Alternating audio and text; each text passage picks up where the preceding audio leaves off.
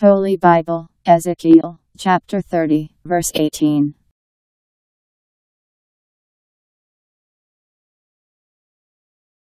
And at Tehaphnehes the day will become dark, when the yoke of Egypt is broken there, and the pride of her power comes to an end. As for her, she will be covered with a cloud, and her daughters will be taken away prisoners.